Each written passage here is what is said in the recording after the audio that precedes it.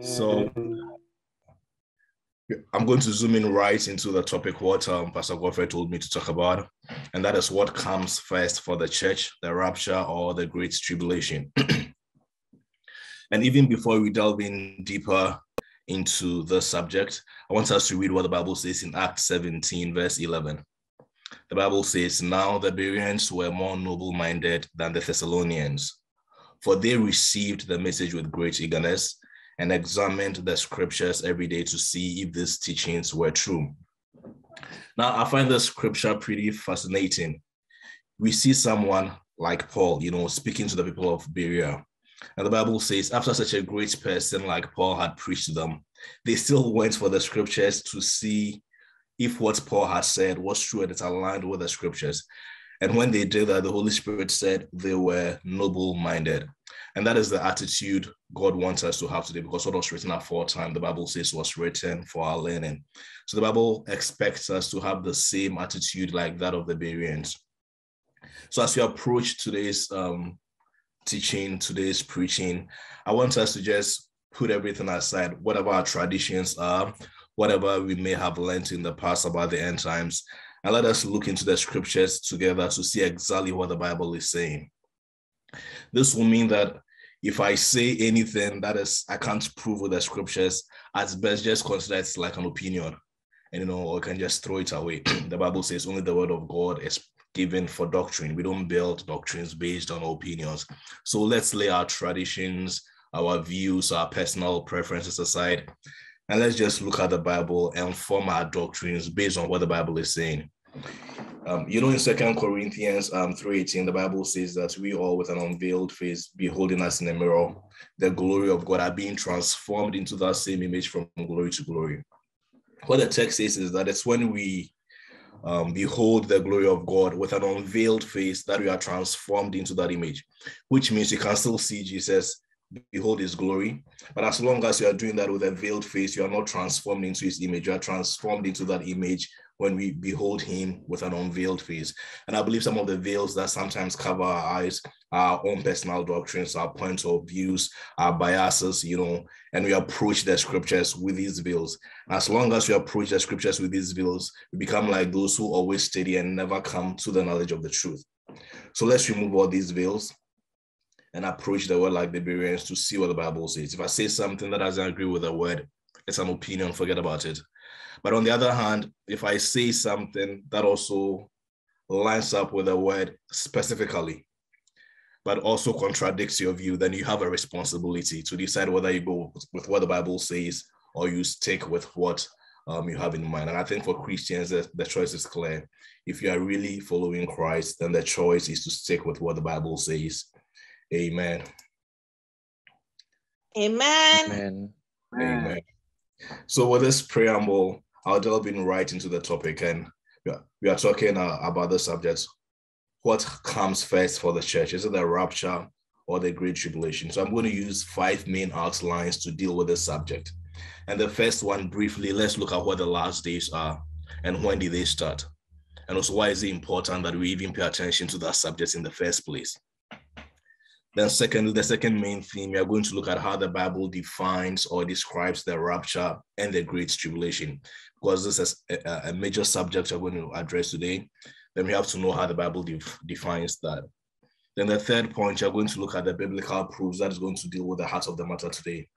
What does the Bible actually say about the timing of the rapture in relation to the great tribulation? And afterwards, um, we will conclude with a biblical outlook the Bible wants us to have. So four main themes you're going to look at right now. All right, so now let's delve in deeper into the subject. First question, what are the last days and when did the last days start? Let's look at this from Acts chapter 2, verse 14 to 17. This is what the Bible says. But Peter, taking a stand with the eleven, raised his voice and declared to them, Men of Judea and all who live in Jerusalem, let this be known to you and give heed to my word. For these men are not drunk as you suppose, but it's only the third hour. It's only the third hour of the day. But this is what the but this is what was spoken of through the prophet Joel. And it shall be in the last days, God says, that I will pour forth of my spirit on all mankind, and your sons and your daughters shall prophesy, and your young men shall see visions, and your old men shall dream dreams. So if you look at the text we just read, the Bible made use of the word the last days. And when you talk about the last days, biblically, I mean, the Greek word translated last days can also be translated as final days. And from the entire biblical context, it talk about the period when the world moves into its final stages and gives way to the physical return of Jesus and his kingdom to this very earth. So this what the Bible refers to as the last days. And you can also hear it's been referred to as the end times. Now, when did the last day start? If you look at what Paul was, um, Peter was saying, it was the time of Pentecost, and the crowd that had um, gathered. He actually told them that what they were experiencing, that is, they witnessing the. Oh, can you hear me? Yes. Okay. Yes, sir. Please continue. All right. So when you look at um what um Peter was saying, addressing the crowd, he told them that they witnessing the disciples or the apostles um, speaking in tongues was what Joel prophesied that in the last days God was going to pour out his um, spirit on all flesh. So from the words of Peter, the day of Pentecost at the marked at the latest when the um, last day started, because he said, What you're witnessing now is what was prophesied that in the last days I'll pour forth my spirit on all flesh. So we know from the scriptures that the last days at the latest began when the Holy Spirit was poured forth on the day of Pentecost. And that was in the first century, over 2,000 years ago. Paul also affirmed the same truth in First Corinthians 10 11. Let's look at what the Bible says in First Corinthians 10 11. Paul said, Now these things happened to them as an example, and they were written for instruction, upon whom the ends of the ages have come. So, Paul in the last days was actually informing the church that they were also living in the last days. So now imagine this if Peter and Paul were living in the last days over 2,000 years ago, then right now we are living in the last of the last days. You know, it's, it's pretty much like the last days is almost finished. We're living in the last hour. And that is how serious the issue is. So, having defined what the last days are and when the last days started, let's just briefly look at why we should even pay attention to the last days. Why is even a subject we should even pay attention to? now let's look at First Chronicles chapter 12, verse 30, verse 32. I read the first part, something the Bible said about the children of Issachar. It says, and the children of Issachar, which were men that had understanding of the times, to know what Israel ought to do. This is fascinating here. That's what the Bible says. The men of Issachar because they had understanding of the times, they knew what Israel ought to do.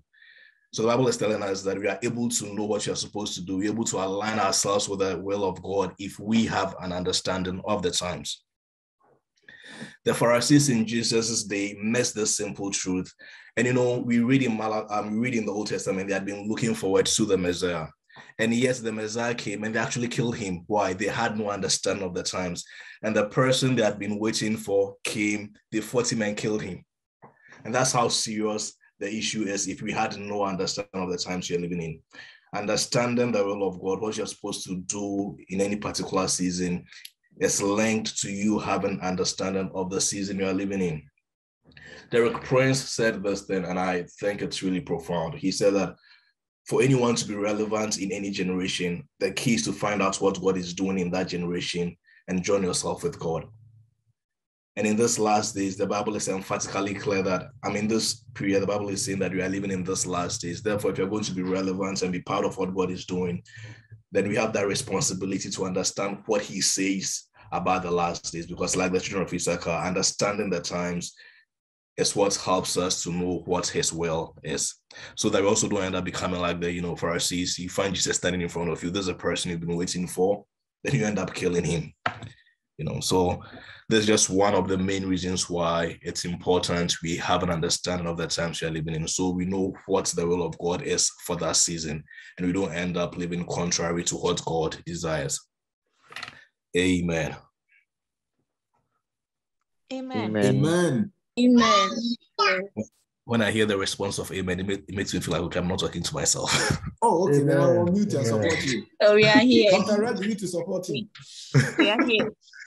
All right. So now, before we delve in deeper into the main um, subject, let's define what the rapture is.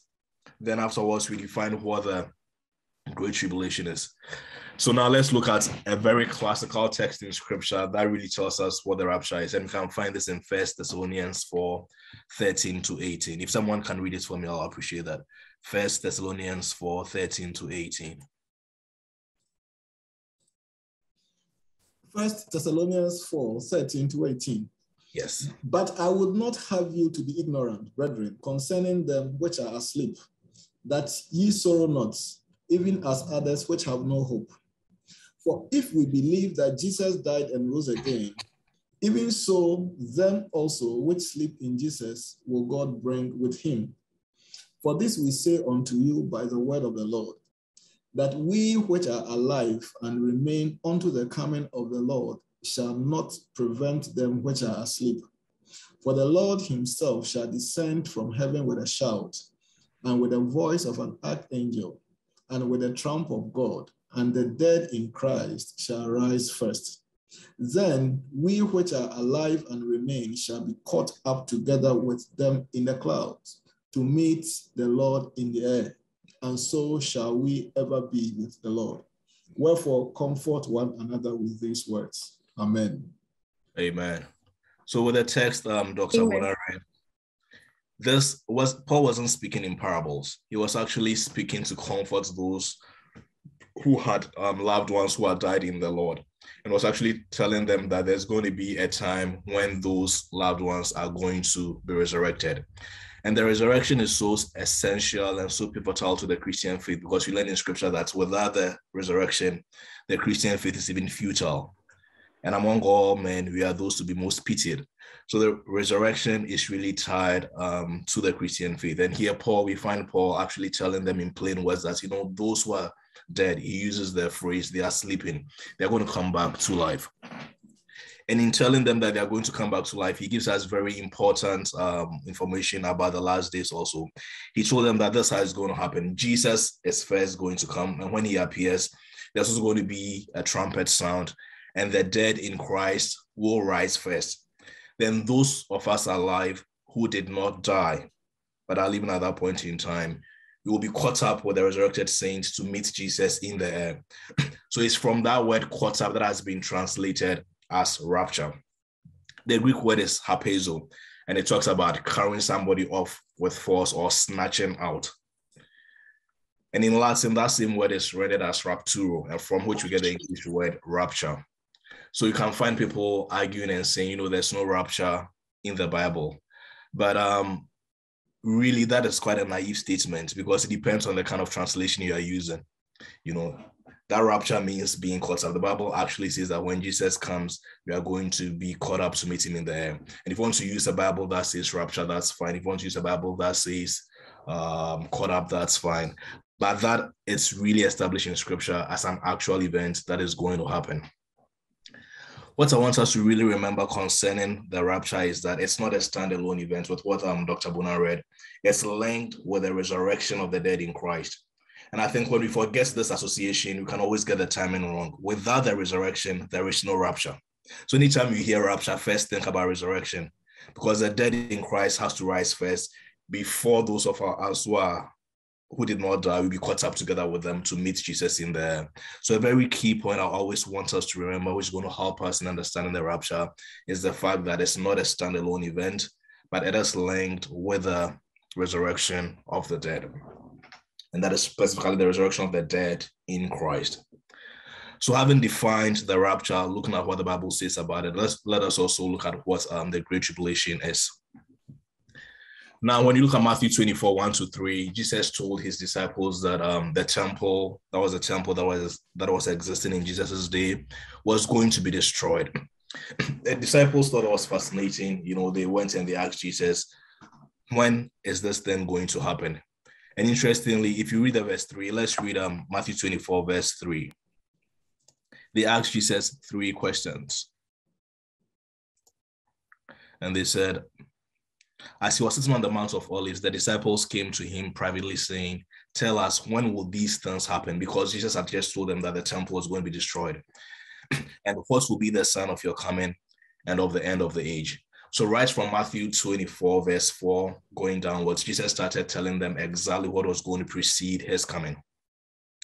And interestingly, one of the things he said in verse 21 was this For then there will be a great tribulation, such as has not occurred since the beginning of the world until now, nor ever will. We find this in Matthew 24, 21. And you know that what Jesus said in Matthew 24, it's also recorded in Mark 13 and Luke 21. And when you put all these um, passages together, it help us to get a very deeper understanding and appreciation of what Jesus was saying. So one of the signs Jesus listed to precede his coming in addressing the questions um, the disciples asked him was the fact that there was going to be a great tribulation, such as has not occurred since the beginning of the world, nor ever will. You know, so in Jesus' word, this is a sign that must precede his coming. And if you look at the fact that in history we've experienced the world wars, you know, we, we've had World War One, World War Two, and yet Jesus is saying there's going to come a trouble such that you know all these wars and all these um, struggles that have prevailed in the past will pale in comparison to it. So this is an event we must take seriously. Jesus is not telling us to scare us. That is not, you know, how he he deals with us. He actually said the things he tells us so that in him we will have peace. He tells us these things so that we can be aware of what is happening and how we are supposed to posture ourselves. And this is what is really important here. Now, the Great Tribulation and the rapture, there are two main end time concepts that really influence our understanding of the end times and our role in it. Now, consider this if indeed the rapture will happen before the Great Tribulation, then really we don't need any special teaching on how we are, we are supposed to survive in the great tribulation because you're not going to be here anyway.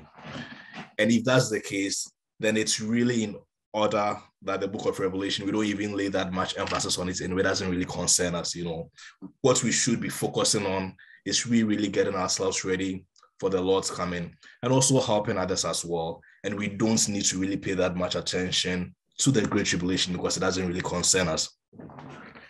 But on the other hand, if it is really true that the church will also go through the Great Tribulation, and God has given us specific keys with which we need to go through the Great Tribulation and be victorious, and then we assume that we are going to escape it and we find ourselves in the Great Tribulation, then this will mean that all this while we have been working on under deception.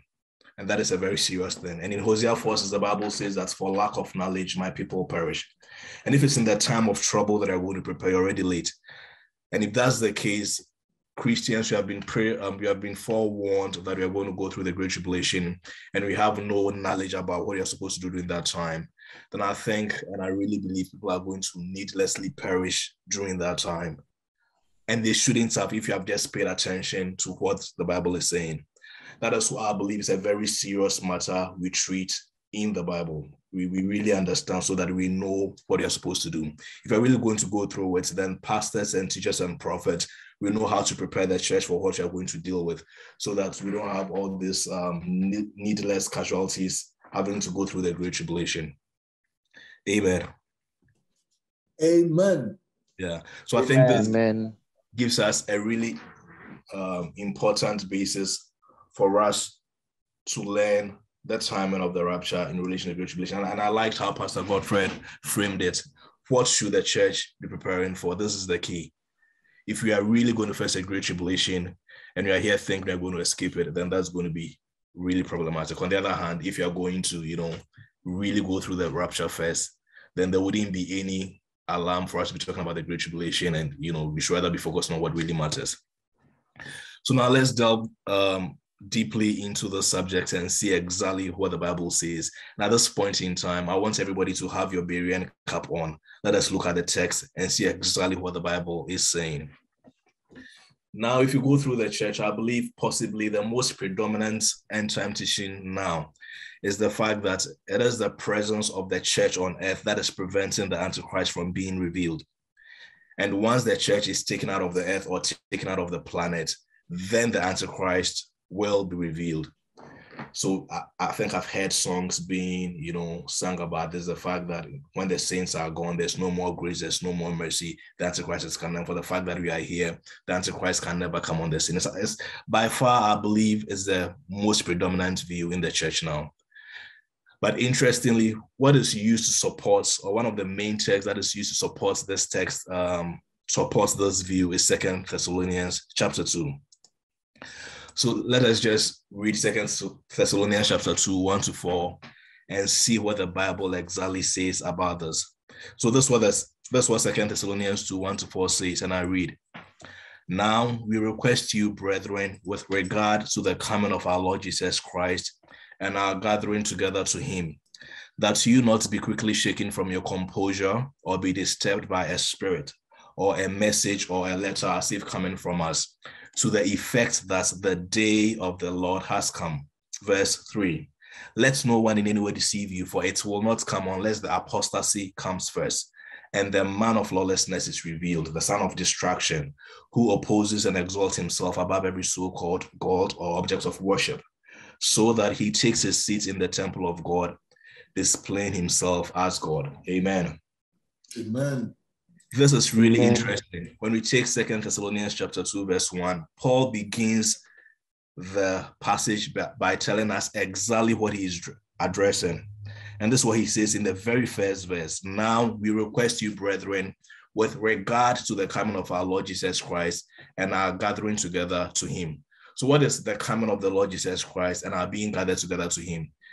In his first letter to the Thessalonians, he had already told them in First Thessalonians chapter 4 that indeed Jesus was going to come and the dead was going to be resurrected and the living and the dead, those who just got resurrected, we are going to be caught up to meet Jesus in the air. We are going to be gathered together to him in the air.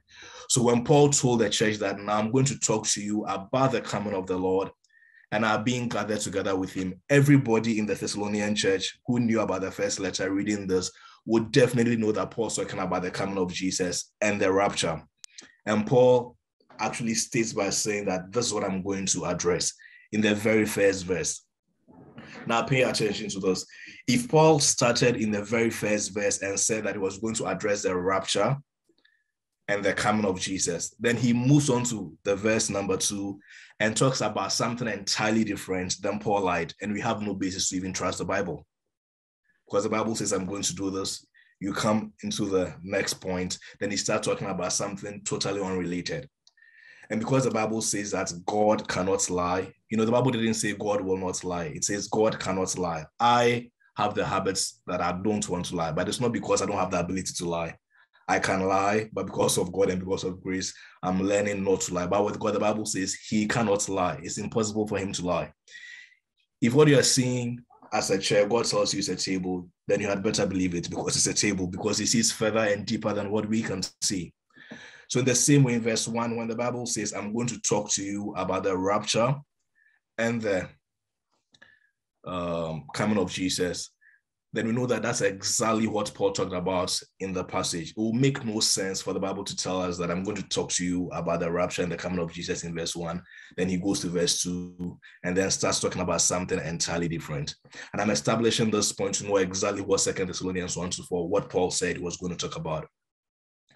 Now, when you go to verse 2 of the same, after Paul indicated what he was going to talk about in verse 2, this is what he says that you not be quickly shaken from your composure or be disturbed either by a spirit or by a message or a letter as see from us to the effect that the day of the Lord has come.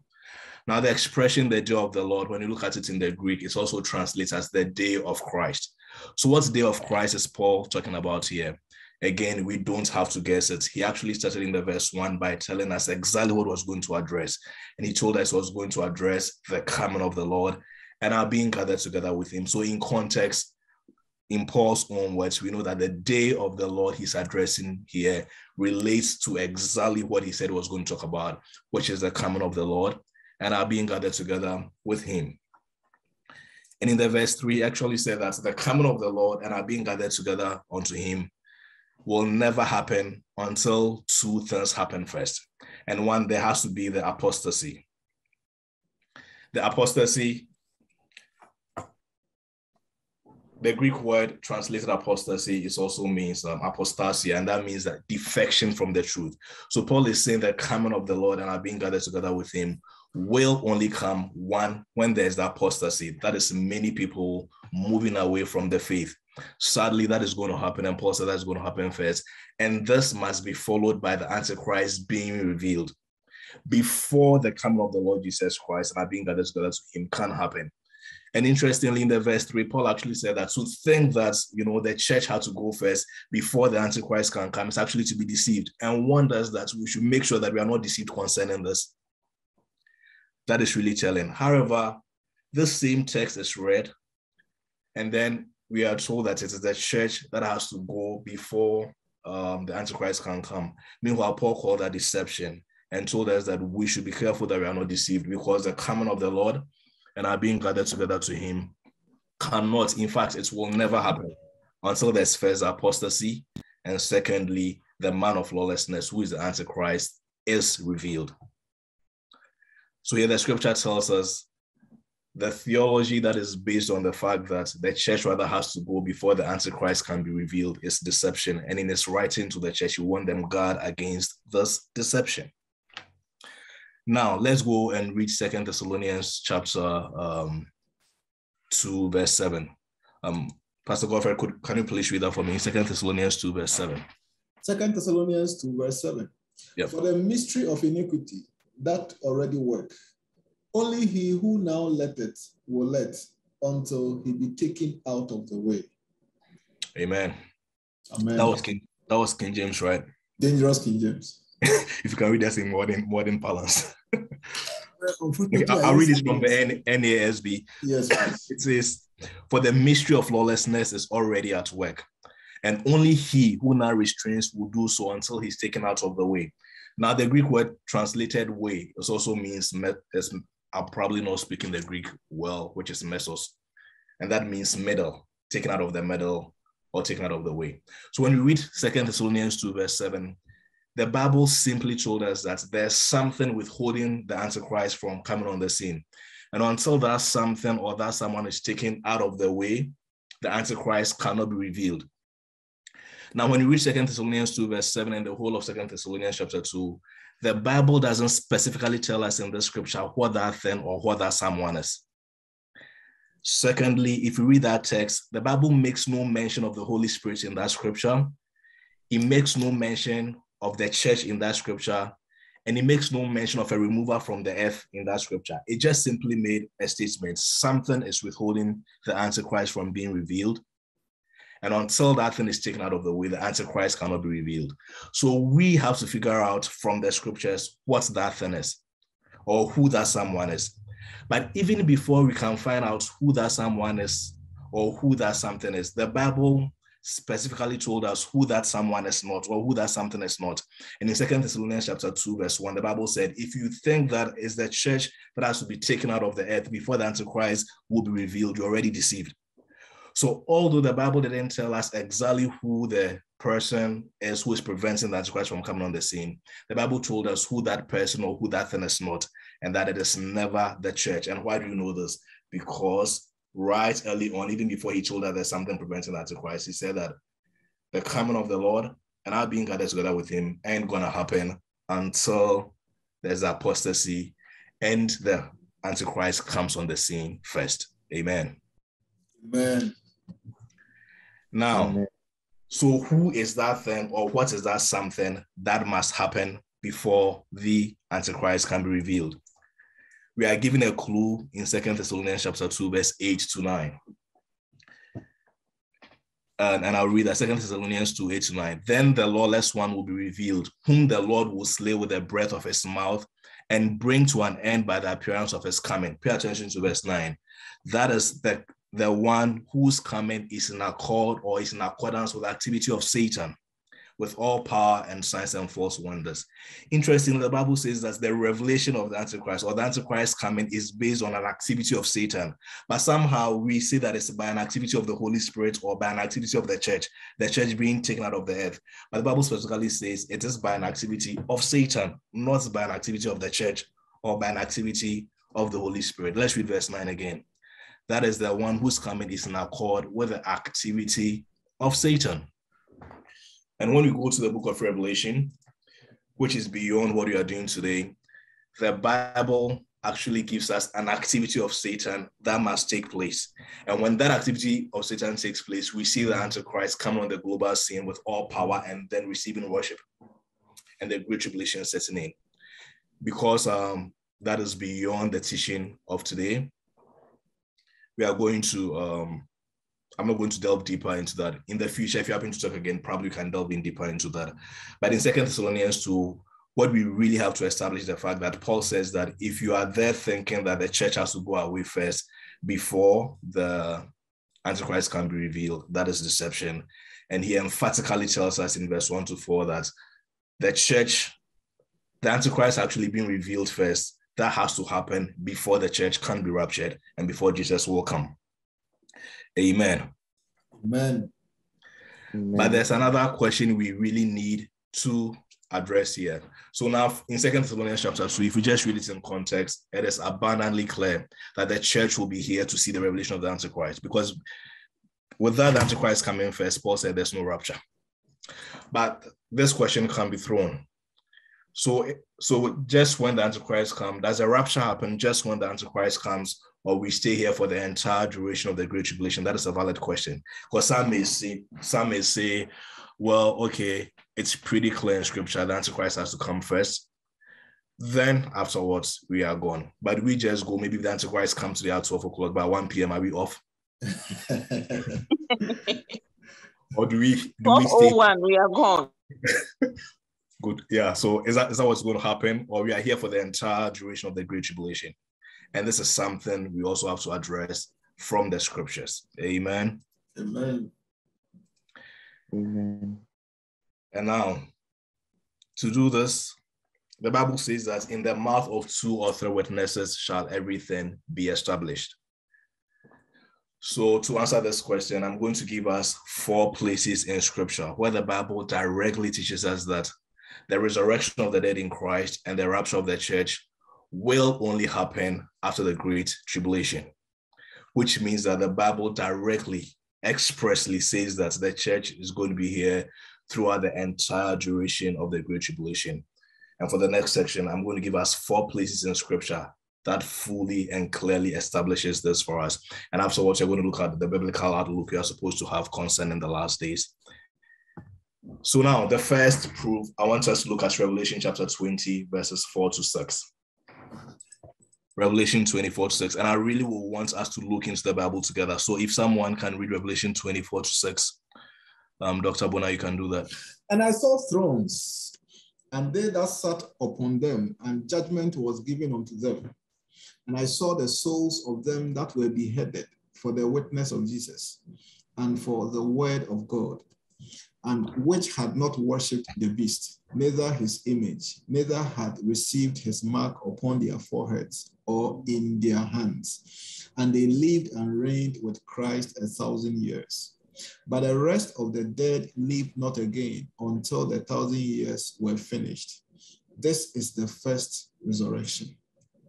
Blessed and holy is he that had part in the first resurrection. On such the second death hath no power, but they shall be priests of God and of Christ, and shall reign with him a thousand years. Amen. Amen. Now, the scripture um, Pastor Godfrey just read for us contains a, a very um, a lot of very essential information. From what Pastor Godfrey read, the Bible actually said that there's going to come a time where faithful believers who have died will be brought back to life to reign with Christ for a period of thousand years. And the Bible referred to this resurrection that will bring people to life to reign with Christ, the first resurrection. It's interesting that the Bible calls it the first resurrection and distinguishes from every other resurrection. And one of the very clear definition of the first resurrection is the fact that it brings the dead to life to reign with Christ for a thousand years. Now, in Christian circles, that thousand years is referred to as the millennium. So when you hear us talk about the millennium or the millennial reign of Christ, there's the fact that you know Jesus is going to come after there's a resurrection, and then he's going to reign for a thousand years. So in Revelation 20, Revelation 24 to 6, the Bible is very clear that there's going to be a first resurrection. what is the first resurrection? A resurrection that is going to bring people to Christ to reign in the millennium. Now, note this it's being called the first resurrection, means that there's no other resurrection prior to it. There's no other resurrection before it that brings the dead to life to reign with Christ because it's called the first resurrection. It's the first one. And interestingly, the Bible also says that the rest of the dead did not come to life until the millennium was over, meaning that the first resurrection is the only resurrection that is going to take place in this church age to bring the dead in Christ to reign with God in the millennium. Why? Because the next and only other such resurrection will happen after the thousand year reign is over.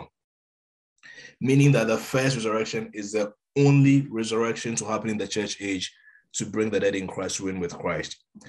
This also means that the first resurrection is the same resurrection Paul talked about, which also bring the dead in Christ. Because if you look at what Paul talked about before the first resurrection, I mean, the resurrection Paul talked about will take place even before Jesus sets his feet on the earth to establish the millennium kingdom. Because when you read Paul's account in First Thessalonians chapter 4, 13 to 18, he said Jesus appears in the air. There's a trumpet sound, the dead in Christ are resurrected, and we are caught up to meet Jesus in the air. But when we read all of Revelation chapter 20, the Bible says that the millennium is going to take place on this very earth. Jesus actually alights on the ground. And the resurrection Paul talked about also takes place even before the millennium starts. When it comes to Revelation chapter 20, verse 4, it says, the Bible indicates that the first resurrection is the only resurrection to bring the dead in Christ to life, to reign in the millennium. Amen. Amen. And interestingly, John went, went on and he gave us further details about the first resurrection. And he said that the first resurrection will bring to life those who were beheaded for refusing to take the mark of the beast. Mm-hmm. Mm-hmm. When you study Revelation chapter 13 and 14, the mark of the beast is only enforced during the Great Tribulation, which means that the Great Tribulation happening first is a prerequisite for the first resurrection to take place. Because without the Great Tribulation happening first, there cannot be Christians who die for refusing the, the, the, mark of the beast. Without the Great Tribulation happening first, we cannot even have the introduction of the mark of the beast. Then we cannot even have Christians who refuse the mark of the beast and who will be beheaded and then have to be resurrected at the first resurrection. So what the Bible is actually telling us here is that the first resurrection cannot happen until there's first the Great Tribulation, because by definition, the first resurrection has to bring to life those who die in the Great Tribulation for refusing the mark of the beast. And when you compare Revelation 24 to says with First Thessalonians 4, 13 to 18, as I mentioned earlier, without the resurrection, there is no rapture of the church. So the Bible emphatically tells us that the first resurrection is that same resurrection which happens with the rapture of the church because it's the only resurrection to happen in the church age to bring people to reign with Christ. In Revelation 24 to 6, one of the key function of the first resurrection is to bring to life those who die in the great tribulation for refusing the mark of the beast. So essentially, what the Bible actually tells us is the fact that without the great tribulation happening first, there cannot be any first resurrection. And without the resurrection, there's no rapture. So here in Revelation 24, it says, this is our first proof when the Bible emphatically tells us that when the Antichrist comes at 12 o'clock, we are not going at 12.01. We are here for the entire duration of the Great Tribulation period because the resurrection can only happen to bring to life all those who die for their faith and for refusing the mark of the beast. Amen. Amen. Yet the Bible says, in the mouth of two or three witnesses shall a thing be established. So here's one proof in the Bible where the Bible emphatically says that indeed the great tribulation happening first is actually a trigger for the rapture to happen and the resurrection. Whenever I think about rapture, I think about resurrection because without resurrection, there's no rapture in Revelation 24, it says there has to be a great tribulation first. Then people have to die, and the first resurrection has to bring them to life. If the first resurrection happens before the great tribulation, then the Bible will defeat itself. Then there, there, there is another resurrection, even before the first resurrection, that brings the saint to Christ to reign with Jesus. So we know, according to the Bible, the first resurrection can only happen after the great tribulation because it must bring to life those who die in the great tribulation for refusing the mark of the beast. Now let's look at the second proof where the Bible emphatically says that um, the rapture will happen after the great tribulation. And Pastor Godfred, can you read Matthew 24, 1 to 2 for me?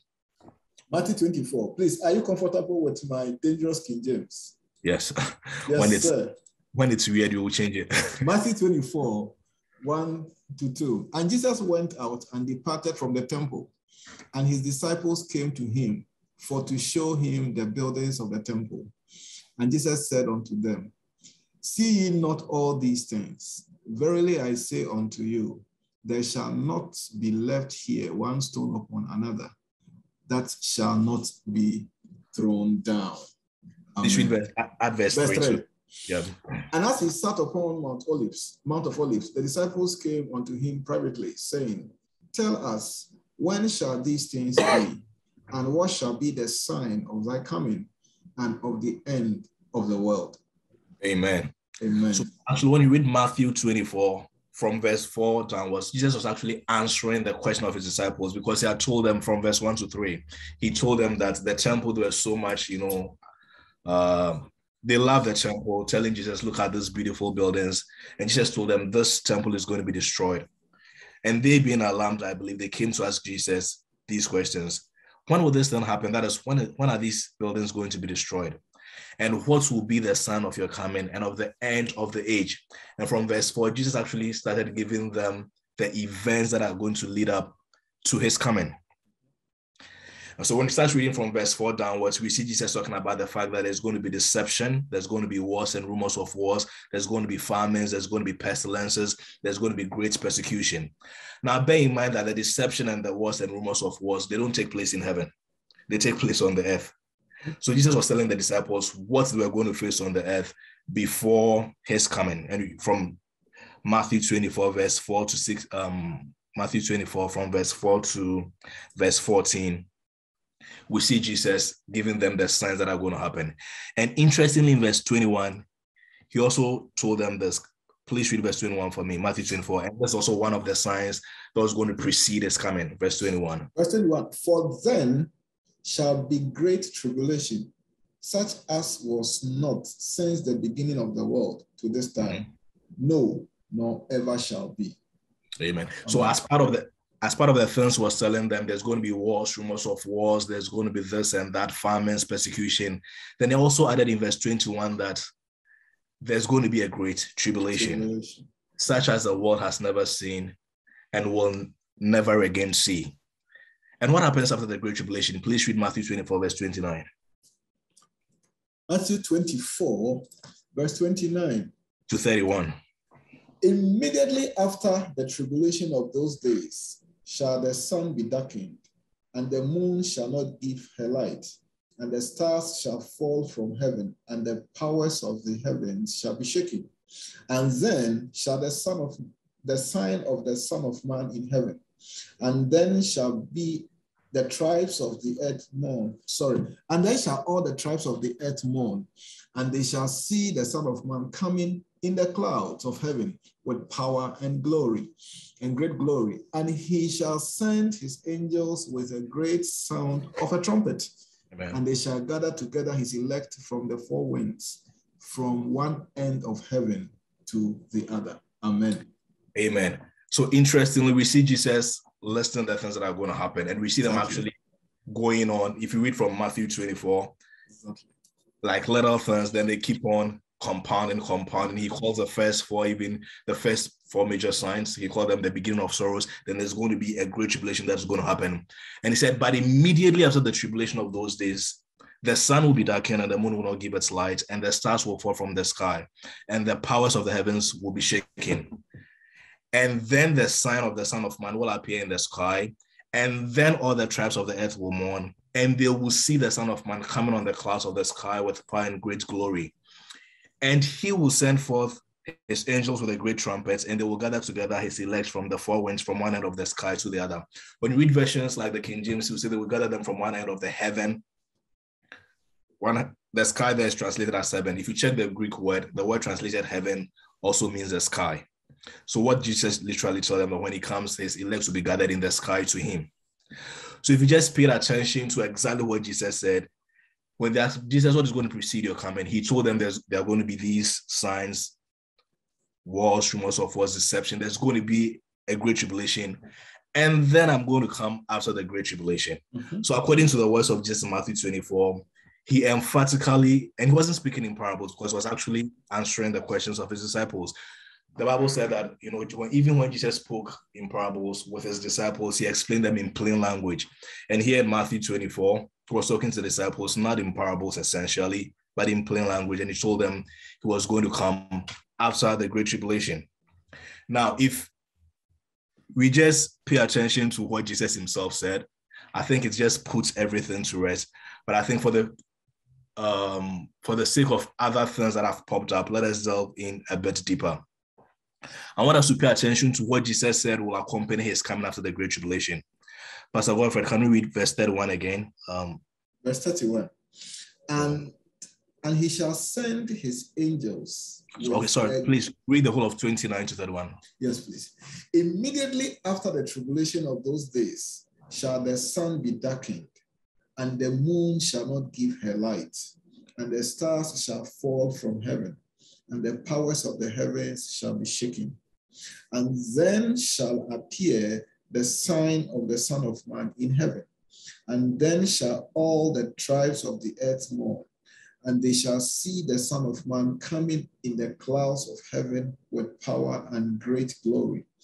And he shall send his angels with a great sound of a trumpet, and they shall gather together his elect from the four winds and from and from one end of heaven to the other. Amen.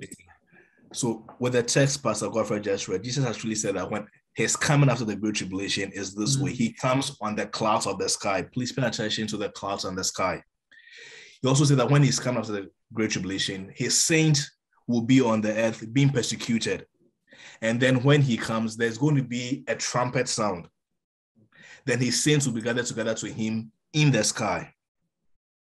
So if you read Matthew 24, 29 to 31, these are the characteristics Jesus said um, define his coming after the great tribulation. One, he comes on the clouds of the sky. Then there's a trumpet sound. There are angels involved. Then the saints are gathered from the earth. They are gathered to, together to him in the sky. Now, when we look at the classical rapture text in First Thessalonians chapter 4, verse 13 to 18, we find that Paul was basically quoting Jesus. Paul said exactly the same thing. He said, one, when Jesus comes, first Jesus will come from come alone. He comes, maybe there'll be angels accompanying him. We can delve deeper into that. But Jesus comes, then the a trumpet sound goes forth. Then the saints are resurrected. Then they are gathered from the earth to meet him in the sky. So we find Paul basically quoting Jesus. Can someone please read First Thessalonians 4 13 to 18? And let's compare what Jesus said is coming in Matthew 24 will be and what Paul also quoted. Essentially, Paul just repeated So, should I first start from the 13 or I should pick it up from uh, 16? 16. Yes. 16 and 17. Yeah. For the Lord himself shall descend from heaven with a shout, and with the voice of an archangel, and with the trump of God, and the dead in Christ shall rise first. Then shall we which are alive and remain be caught up together with them in the cloud to meet the Lord in the air. So shall we ever be with the Lord. Amen. So these are the similarities I want us to see. Jesus said, I'm going to appear in the sky. Matthew 24 says the same thing. In Matthew 24, Jesus said, I'm going to come. There's going to be trumpet involved. Paul said there's going to be trumpet. And Jesus said, When I come in the air, my saints are gathered together in the sky. Paul said they're going to be caught up to meet Jesus in the sky. It's just a repetition of what Jesus said. But when you present this to some, they usually say, no, Matthew 24 is rather referring to Revelation chapter 19. And they refer to Revelation chapter 19 as the second coming. So now I want us to go to Revelation chapter 19 and see what Revelation 19 also says. And now let's read Revelation 19, 11 to 16. And I, I want everybody to really look into the scripture so that we can see if Matthew 24 looks like Revelation 19 or it looks like First Thessalonians chapter 4, because all these texts are talking about Jesus' appearing. Now I'll read from Revelation 19, 11 to 16, and that's what the Bible says. And John said, And I saw heaven opened, and behold, a white horse, and he who sat on it is called faithful and true, and in righteousness he judges and wages war. Verse 12. His eyes are a flame of fire, and on his head are many diadems, and he has a name written on him which no one knows except himself. Verse 13. He is clothed with a robe dipped in blood, and his name is called the Word of God. And the armies which are in heaven, clothed in fine linen, white and clean, were following him on white horses. From his mouth comes a sharp sword, so that with it he may strike down the nations, and he will rule them with a rod of iron. And he treads the winepress of the fierce wrath of God the Almighty. And on his robe and on his thigh, he has a name written King of Kings and Lord of Lords. Amen. Amen. So now, when you look at Revelation 19, John also talks about a different coming of Jesus. In Revelation 19, he said that he saw Jesus coming on a white horse. Meanwhile, when you look at Matthew 24, there's no white horse mentioned. Jesus says he comes. There are no white horses involved in Matthew 24. Also, in Matthew 24, in Revelation 19, which we just read, Jesus doesn't come alone with white horses. He comes with white horses, with the armies of heaven also in white horses following him, and these armies are clothed in fine linen. If you just read the preceding verses in Revelation 19, these armies include the saints because the Bible says the fine linen are the righteous acts of the saint. So in Revelation 19, we see that Jesus comes on a horse, and the saints are following him on white horses. In Matthew 24 and 1 Thessalonians chapter 4, Jesus doesn't come on a horse. He rather comes and there's a trumpet that goes forth. In Revelation 19, there's no trumpet. Secondly, in First Thessalonians chapter 4, the saints are not carried by horses to meet Jesus in the air. And in Matthew 24, the saints are not carried on white horses to meet Jesus in the air. Paul tells us that they are caught up, and the Greek word is harpazo, and that is to be snatched out by force. Whereas in Revelation 19, we see the saints sitting on horses. Also in Revelation 19, we see Jesus and the saints moving from heaven. And when we read the whole of Revelation 19, they actually alight on the earth. Whereas in Matthew 24 and in First Thessalonians chapter 4, the meeting place is the air. Eh. So we see that even the direction of the saints are different. Whereas in Revelation 19, the saints and Jesus are coming on white horses. In Revelation, in First Thessalonians 4 and in Matthew 24, the saints rather move up. And also with what Pastor Godfred read in Matthew 24, the Bible said that when the earth, the whole earth, they see Jesus coming, they mourn and weep. We read Revelation 19, and when the people on the earth they see Jesus coming, they don't mourn and weep. They actually gather to make war against Jesus. As silly as it gets, that's what happens. And read in Revelation 19 to the end. They see Jesus coming and they actually gather to make war against him and those he comes with. So there's no similarity between Revelation 19 and Matthew 24 for us to group them as one. There's practically no sameness between them. Rather, when we see Matthew 24, you see Paul quoting Matthew 24 using practically the same words of Jesus and in accordance with Jesus' words, he said that, that his coming, where he comes not with horses, but with a trumpet, angels involved, gathering the same to him. The Bible says that in Jesus' own words, that coming is after the great tribulation. So when you just compare Matthew 24 in Jesus' own words and what Paul said, Jesus and Paul affirm the fact that it's after the great tribulation that the rapture happens. Amen. Amen. Revelation 19, and Matthew 24, there's nothing in common. We can never classify them as one. And now, please hold on, let me prove something to you. Basically, they refer to Revelation 19 as the second coming. But actually, when you go to, through the scriptures, the Bible rather refers to the rapture as the second coming. And let, let me prove that in scripture. Can somebody read Hebrews 9, verse 28? Hebrews 9, verse 28. Verse 28. Mm-hmm. So, so Christ was once offered to bear the sins of many, and unto them that look for him shall he appear the second time without sin unto salvation. Amen. Amen. So with the text Pastor Godfrey just read, the Bible actually said that Jesus came a first time and he's going to come a second time. And this is the characteristics the Bible used to define the second coming. He said that in the second coming, he's coming for those one who are eagerly waiting for him. And two, when he comes, he brings them salvation. Now, when you look at the Greek word translated salvation in Hebrews 9:28, it's not sozo, which we mean we know to be confessing Jesus and being saved. This word salvation also means being delivered from trouble, being delivered from molestation of enemies, and is associated with the coming of Jesus Christ. So in Hebrews chapter 9, verse 28, the Bible defines the second coming of Jesus at that coming, when he comes to deliver his people, those who are eagerly waiting for him, to bring them deliverance from molestation, to bring them salvation. That salvation is molestation, um, deliverance from molestation from enemies or deliverance from earthly ills. Amen. Amen. Now, when you look at Revelation chapter 19, now before I even go on deeper, let me let me just briefly summarize how Revelation 24 and Revelation 19 fits. So, as Jesus said, it's immediately after his immediately after the great tribulation, there are signs in the skies and in the in the heavens, and afterwards he comes. And when he comes, the saints are gathered together and we meet him in the air. Now, when we meet him in the air, we don't make a U-turn back to the earth. We go to heaven for what you call the marriage supper of the Lamb. And after the marriage supper of the Lamb, Jesus and the saints come back to the earth on white horses. So the, the Bible indeed talks about two distinct coming. One is at the rapture, where we are caught up to meet Jesus in the air. And First Thessalonians chapter 4 and Matthew 24 says that's what's going to happen. And in Jesus' own words, when you compare that with First Thessalonians chapter 4, the resurrection and the rapture, according to Jesus, that coming is after the great tribulation. But when we come to Matthew 24, um, Revelation 19, that is a coming after the marriage supper of the Lamb in heaven. And when the saints are coming in, um, the saints are coming to Jesus in Revelation chapter 19, they are not coming to be delivered from any earthly ill. They're already in heaven. They're already been in heaven and enjoying heavenly bliss. They had enjoyed the marriage supper of the Lamb, and they don't need any deliverance from any molestation in heaven.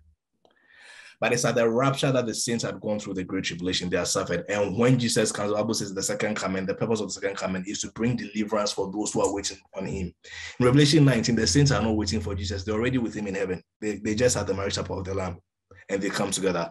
But it's at the rapture that we have saints on the earth waiting for Jesus. And when Jesus comes, the Bible says those who are eagerly waiting for him, he brings them deliverance and deliverance from the earthly ills. Amen. Amen. According to Hebrews 9:28, the second coming is that coming of Jesus where he delivers his saints from trouble. And that only happens when the rapture takes place. So this understanding that oh, the rapture and the second coming are different, I believe that is even biblically defensible if you understand how the Bible defines the second coming according to Hebrews 9:28. In the words of Jesus, the rapture is the second coming. And indeed, Hebrews 9:28 said that the first time was when Jesus came and he died for the sins of many, and the salvation he brought us is sozo. But now the second coming is bringing the Greek word is soteria, where he's bringing deliverance from those who um, who are experiencing trouble and trials, earthly ills, he brings them deliverance. So really, according to the scriptures, the second coming is the rapture. So how do we refer to the coming Revelation chapter 19? The Bible doesn't give us a term to refer to it, just as, like the way he describes um, the second coming in Hebrews 9:28. But if some refer to it as a third coming, in my view, I think that makes perfect sense because it's a subsequent coming after the second coming of Jesus. Some also refer to it as a triumphal entry of Jesus into Jerusalem. And that makes perfect sense to me as well, because as we delve in deeper in the book of Revelation and in Zechariah, we realize that when Jesus comes, he actually marches into Jerusalem and he rules from there. So indeed, the Bible talks about two comings. The first is when he came as a baby. The second one is when he bring deliverance to those waiting for him. And that can definitely not refer to Revelation 19, because Revelation 19, the saints are not waiting for Jesus. They're already with him in heaven. Also, second coming must bring deliverance and the saints, they are not, they don't need any deliverance from heaven. They rather come with Jesus to the earth to come and enjoy some more, to come and reign. Amen. Amen. Ah, so according to Jesus' own words in Matthew 24, his coming, where there's going to be a trumpet sound, where the saints are going to be gathered together from there to meet him in the sky, where the meeting point is the air, in Jesus' own words, happens after the great tribulation. Now, this is the second proof that shows that the church will indeed go through the great tribulation. The rapture happens after the great tribulation. I want us to give a, I want us to also look at a third proof where the Bible beautifully shows that the rapture indeed happens after the great tribulation. After the Bible said in the mouth of two or three witnesses shall we establish stuff right. So let us look at the third one. Mm-hmm. Now, can someone read First Corinthians 15, verse 51 to 52 for me? And this is the third proof. First Corinthians 15, 15, 51 to 52. 51 to 52. Behold, I show you a mystery. We shall not all sleep, but we shall all be changed. In a moment, in the twinkling of an eye, at the last trump, for the trumpet shall sound, and the dead shall be raised incorruptible, and we shall be changed. Amen. Amen. Yeah, that's a very beautiful, like a very beautiful information you've been given. Paul said that the resurrection of the dead in Christ are going to happen at the last trumpet. The resurrection of the dead in Christ will happen at the last trumpet or at the sounding of the last trumpet. We also know from First Thessalonians chapter 4 that the resurrection and the rapture are tied together. So simply, if you want to know when the rapture happens in relation to the Great Tribulation, we just have to look at the Bible to see exactly when the last trumpet is blown, whether the last trumpet is blown before the Great Tribulation or after the Great Tribulation. And thankfully, we don't have to guess this. The Bible specifically tells us exactly when the um, last trumpet is blown. So let us go to the book of Revelation to see exactly when the last trumpet is blown. Now, I'll just give a summary, and when we have time, go through it deeper and um, look at the text I provide. When we starting with Revelation chapter four, in Revelation chapter four, John talks about an experience he had when he was caught up to heaven. Now, many look at Revelation chapter 4 and they go like, Revelation chapter 4 has to be the rapture because in Revelation chapter 4, John was caught up to heaven even before he talked about the Great Tribulation. So Revelation chapter 4 has to be the rapture. But the Bible in the book of Revelation itself refutes this argument. And here is it. We know that the resurrection of the dead and the rapture happened together. But in Revelation chapter 4, John was caught up to heaven alone. In Revelation chapter 4, John actually told us why he was caught up to heaven. He said he heard a voice that told him, Come up here and I'll show you the things that must take place. So John was caught up to heaven to be shown things that must take place in the future. And when you go to Revelation chapter 20, one of the things he saw was the resurrection, even the first resurrection. So if we claim that Revelation chapter 4 is a rapture, then we claim that the rapture happens before the resurrection Revelation chapter 20, which is biblically indefensible. Because the rapture and the resurrection of the dead are tied together. And it's biblically inaccurate to say that the rapture happens in Revelation chapter 4. Then afterwards, we when Revelation chapter 20, the resurrection happens according to the Bible, the resurrection and the rapture are tied together. So, what happened in Revelation chapter 4? In Revelation chapter 4, John simply told us that he was caught up to heaven, and he gave us a reason why he was caught up to heaven to be shown things that must take place hereafter, or to be shown things that would take place after the things that already been shown him. Now, we know in the Bible that Enoch was also caught up to heaven. So, people being caught up to heaven is not really a new experience in scripture. Paul talked about a man he knew who was also caught up to heaven. And we believe that that was Paul himself. Now, none of these experiences are the rapture. Why? Because they were not accompanied by the resurrection of the dead in Christ. In the same way, in Revelation chapter 4, John, when John was caught up, he wasn't caught up, wasn't a mass catch up. He was just caught up by himself. But at the rapture, it is it's, it's a mass catching up, not just one person. The dead in Christ being resurrected, plus we those who didn't die, all this group of people coming together and we being caught up. While in Revelation chapter 4 was John alone who was caught up. And also at the rapture, as the Bible says, the resurrection must happen first. Without the resurrection, there's no rapture. In Revelation chapter 4, John was caught up in heaven. And while in heaven was shown the um, the resurrection of the dead in Revelation chapter 20.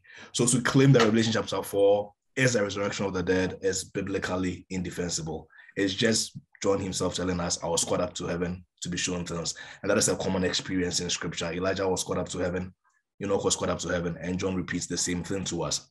So in Revelation chapter 4, when John was caught up to heaven, when you come back to Revelation chapter 6, in Revelation chapter 4 and 5, when he was caught up to heaven, he saw that Jesus was sitting on the throne and he had a scroll in his hand. And when you reach the end of the book, we find out that actually the scroll that Jesus was holding contains the history of mankind from the time John saw it, or soon after John saw it, to the end when Jesus will come and reign on the earth, and even the period afterwards. And when we go to Revelation chapter 6, we see Jesus opening the scroll one after the other. One thing we have to bear in mind is that the Bible says that the book of Revelation is a revelation of Jesus Christ usually when we open the book of Revelation, people are looking for the Antichrist. I mean, we have information about the Antichrist there, but it's not a revelation of the Antichrist. It's a revelation of Jesus Christ. Is Jesus giving his testimony? And one of the core testimonies he gives in the book of Revelation, he tells us about the signs that will precede his coming. When he goes to Matthew 24, Jesus also talked about the signs that are going to precede his coming.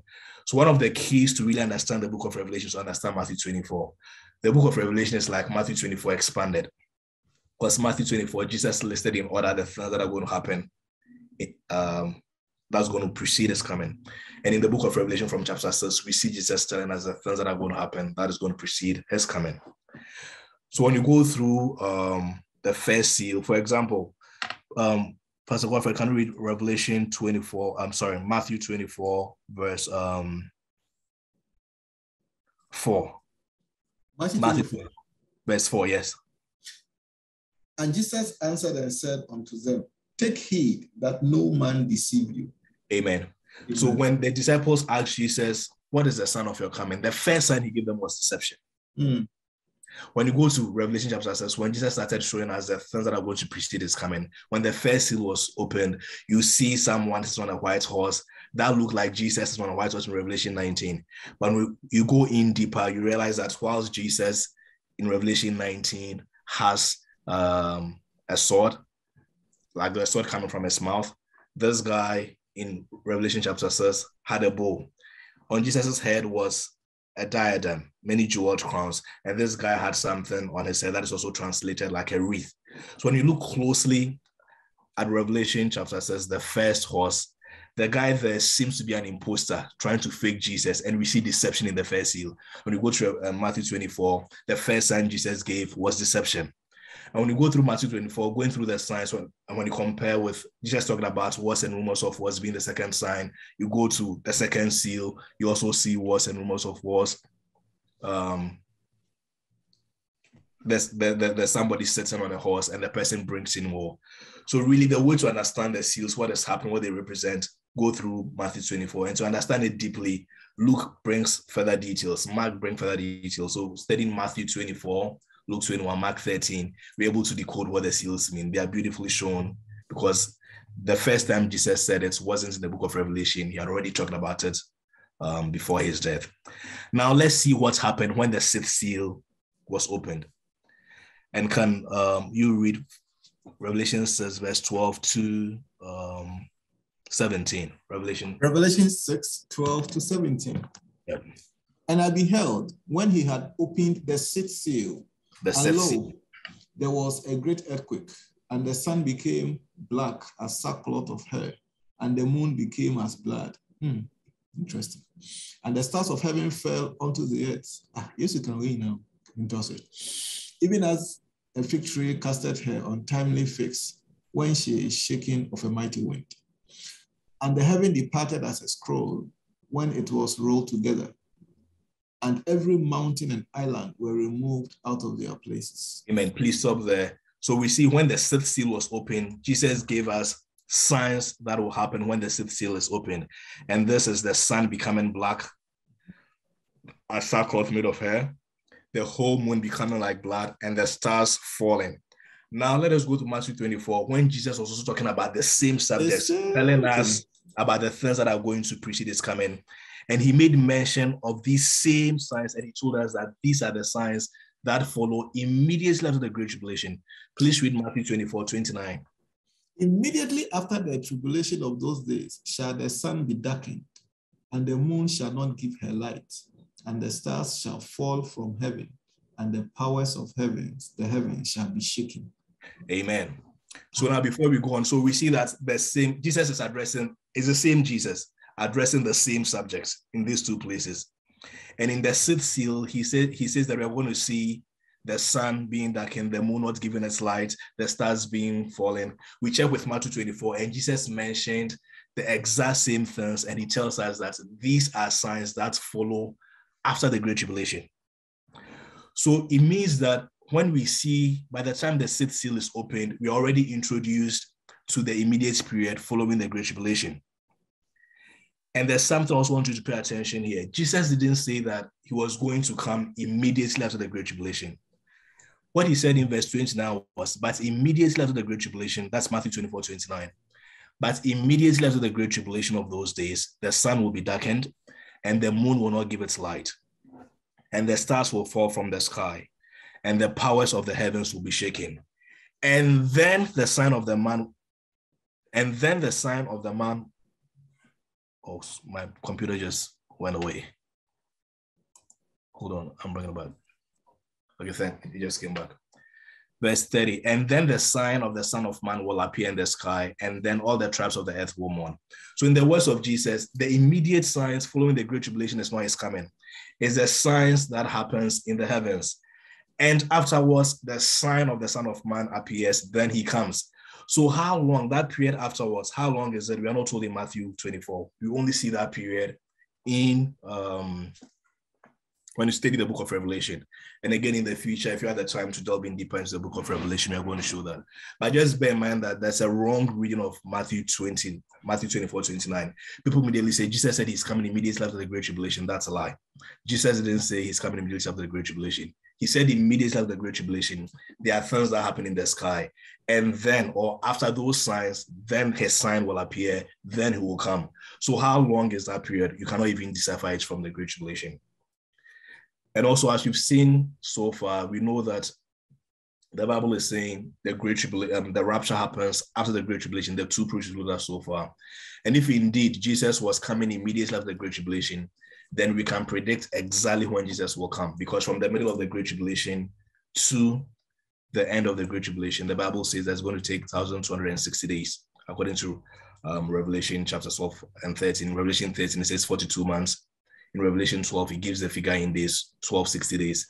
And if indeed Jesus was coming immediately after the Great Tribulation, then we can predict exactly when the rapture will take place. We just have to count, count 12, 60 days from the middle of the Great Tribulation, and we can point to the exact time Jesus is coming.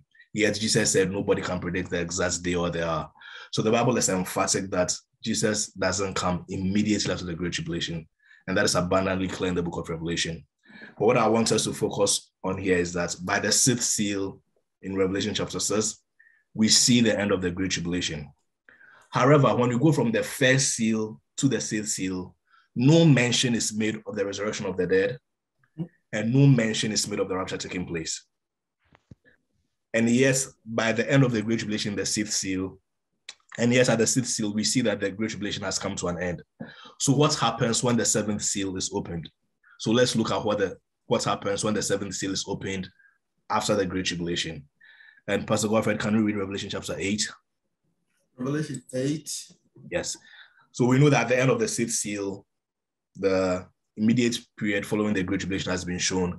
And if you go home, you can check, read from Revelation chapter 1, from the first, Revelation chapter 6, from the first seal to the fifth seal. There's no mention made of the resurrection taking place. And without the resurrection, there's no rapture. So let's see what happens when the seventh seal is opened. Please, should I read from verse 1? Yes, please. Through to. Um, read the first three verses. And when he had opened the seventh seal, there was silence in heaven about the space of an hour. And I saw the seven angels which stood before God, and to them were given seven trumpets. And please, please hold on. Yeah. So when the seven, so from first seal to sixth seal, there's no mention of um, the resurrection taking place. So we will expect that probably when you open the seventh seal, you're going to see the resurrection. But when the seventh seal was opened, it wasn't the resurrection that was first seen. What was seen was um, first, there was a 30 minute silence in heaven. Then we had seven angels who had seven trumpets. Now, if you have um, seven angels, the seventh one is the last trumpet. Is, does that make sense? Mm-hmm. Because if you have seven angels, the last one has to be the last. The last. The seventh one has to be the last one. So we know that when the seventh seal is opened, seven angels come out. They are given seventh trumpet. And please read verse six. And the seven angels which had the seven trumpets prepared themselves to sound. Amen. So when the angels were given the seven trumpets, the seven trumpets wasn't giving them just for fun. They actually had to blow them. And when they started blowing them from verse 7, the Bible says, and the first angel sounded. When the first angel blows, certain events take place. When the second angel blows, certain events take place. Up to the seventh angel or the last angel who sounded the last trumpet. And let us look at what happened when the last trumpet is sounded in Revelation chapter 11. Revelation 11. So please read Revelation 11, 15 to 19, and let's see what happens when the last trumpet or the seventh trumpet is sounded. And the seventh angel sounded, and there were great voices in heaven saying, The kingdoms of this world are become the kingdom of our Lord and his Christ, and he shall reign forever and ever. Amen. And the four and twenty-four elders, which sat before God on their seats, fell upon their faces and worshipped God, saying, We give these thanks, O Lord God Almighty, which art and was and art to come, because thou hast taken to thee thy, thy great power and hast reigned. Verse 18, and the nations were angry, and thy wrath is come, and the time of the dead that they should be judged, and that thou should give reward unto thy servants the prophets, and to thy saints, and them that fear thy name, small and great, and shouldest destroy them which destroy the earth. Amen. Amen. So when the last trumpet, which is the seventh trumpet, Seven trumpet. so when the seventh, which is the last of the seven trumpets, was sounded, with what Pastor Godfred read, it was declared that the time had come for God to reward his saint. When are the saints rewarded? Let us, Jesus answered this question in Luke 14, verse 13 to 14. Can someone please read Luke 13, Luke 14, verse 13 to 14? Luke 14, 13 to 14. Yes. But when thou makest a feast, call the poor, the maimed, the lame, and the blind, and thou shalt be blessed, for they cannot recompense thee, for thou shalt be recompensed at the resurrection of the just. Amen. So in Luke 13, 14, Luke 14, 13 to 14, Jesus said that the time when the righteous are rewarded at the, at the time of the resurrection of the righteous, or the resurrection of the just, or the resurrection of the dead in Christ.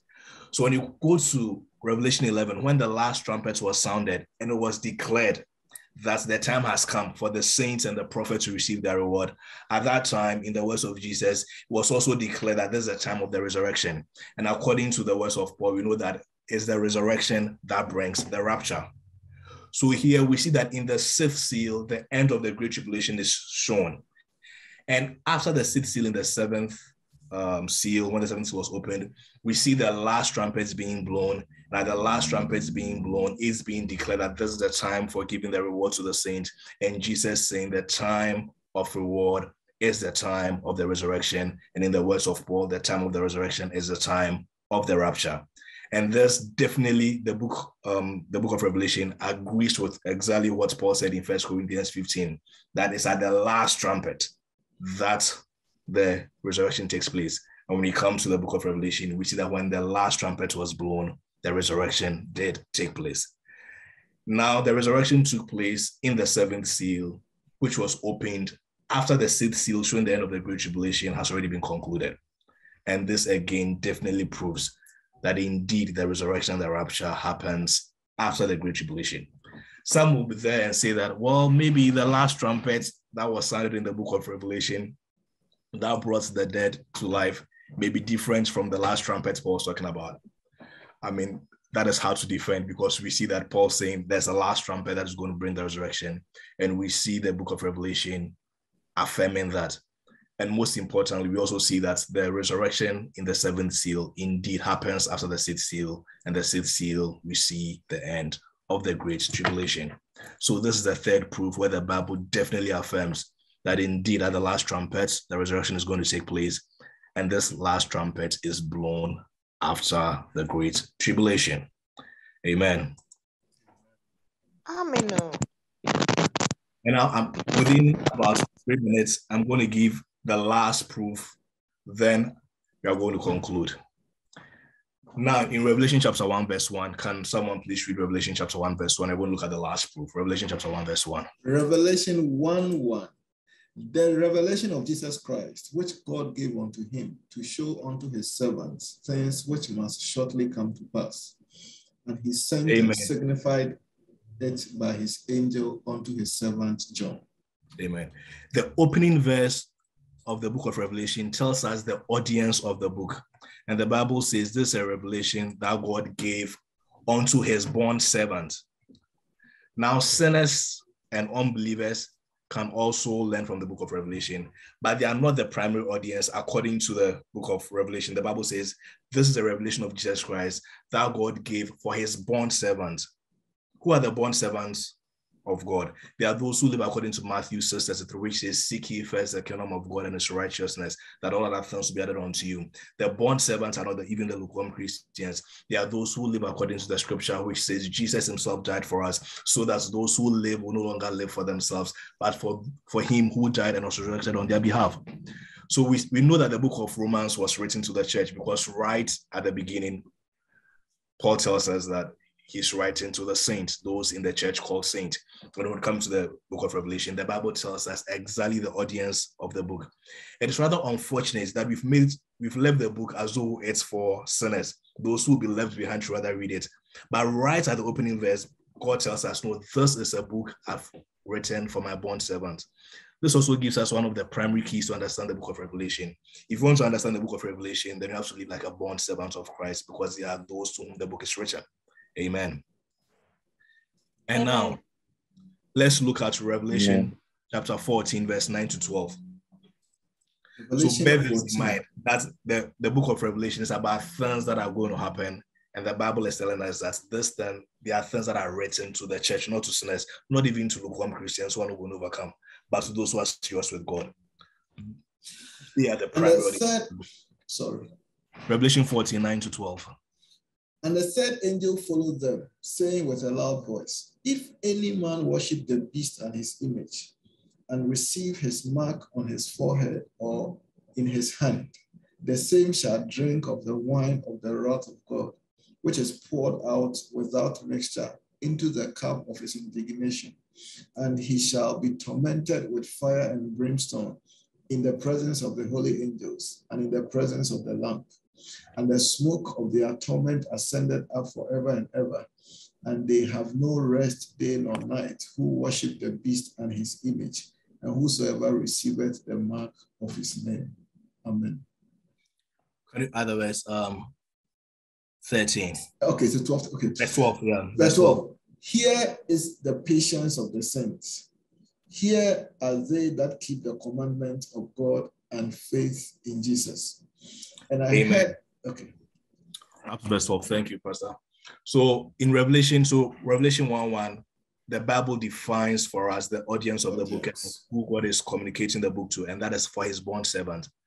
In Revelation 49 to 12, the Bible gives us 10 warning that no one should take the mark of the beast, because taking the mark of the beast means that you are going to end up in the lake of fire forever and ever. And after giving this 10 warning that no one should take the mark of the beast, in verse 12, if you read it in some of the more um, modern translations, the Bible says, This calls for patient endurance on the part of the people of God who keep his commands and remain faithful to Jesus. What the Bible is saying is that the command not to take the mark of the beast was a command that was given to the church. Specifically, the bond servants, those who are working in obedience to God and those who keep their faith in the Jesus, they are the primary audience of the book. In Revelation 14, the Bible says, after giving this warning, he tells us this warning is a call. If you read it in like in the ESV, here is a call for the endurance of the saints, those who keep the commandments of God and their faith in Jesus. The commandment not to take the mark of the beast is actually a commandment to the born servants of Christ. Now, if the church will be raptured before the Great Tribulation, why will God be telling us now, way before the Great Tribulation, since the first century, that we shouldn't take the mark of the beast? That will make no sense if we be out of here and God is telling us not to take the mark of the beast. And God telling us now that there's going to be a period that the mark of the beast is going to come and warning us that He's calling us that we shouldn't take the mark of the beast. Definitely refuse this pre tribulation rapture teaching, letting us know that God is telling us that we shouldn't take the mark of the beast because you're going to be here and our call is to reject that mark. Amen. Amen. So here I've given us four biblical proofs where the Bible exactly tells us that the rapture of the church indeed happens after the Great Tribulation. And from what you've looked at, the Bible even tells us that the Great Tribulation happening first is actually a prerequisite for the rapture to happen. So if indeed the Bible is so clear that the rapture will indeed happen after a great tribulation. Why is this pre-tribulation rapture theology so prevalent in the church? Um, if you, I wrote a book here, um, what to expect and how to prepare to triumph in the last days, um, a biblical perspective on the last days. And here I delve into some of the scriptures that have been used to support the pre-tribulation rapture theology and how that actually deviates from the scriptures. You can see one, one, one such example is what we read in Second Thessalonians, where the Bible actually tells us that it's a deception to think that we have to be here before the Antichrist, we have to be gone before the Antichrist will be revealed. And the Bible actually says the direct opposite. So there are such scriptures that have been used to support the pre-trib, whereas the Bible actually says opposite. And what I found is that people did not really behave like the Bereans we came up with how we think God should behave. And we ended up going for scriptures to support how we think God should behave. But the problem is when you do that, we have to end up also bending a whole lot of scriptures. And when you read um, the book, I go in deeper into. You can talk to Pastor Bona if you need a copy of the book. I think you can make that clear. And for every book that is sold to find out how so my tithes and offering on it to support the ministry. So because of time, I will left, I will, I will, I will leave here. And one of the main things I'll tell us when you read Luke 21, verse 30 says, This is not supposed to bring us fear. Rather, the Bible says, For lack of knowledge, my people perish. The Bible is telling us that so that we can be prepared and be ready for what is coming. When you study the book of Daniel, one of the purpose of the great tribulation, how many of us have heard the scripture before? For those who know their God shall be strong and do exploits. When we read this in Daniel chapter 11, the Bible teaches that this scripture is actually in reference to the period of the Great Tribulation when things are so tough. Those who know their God will be strong and they will do exploits. In context, it's a scripture that was referenced to those in the Great Tribulation. And following that, the Bible said that, and those who have insights will turn many to righteousness. So it's a time when there's great trouble on the earth. People are confused, they don't know what to do, but it's a time of harvest. It's a time when those of us with insights, we tell them this is what the Bible says. And it's a period when many are going to come into the faith. And it's a period when if we know God, we are going to triumph. And here too, I delve deeper into some specific ways God tells us to prepare so that we can triumph. So it's not all doom and gloom is God letting us know beforehand this is what is going to happen. I want you to prepare for it so that you can triumph and during that time be strong and do exploits and be the person of insight who brings many to righteousness. In Jesus' name, amen.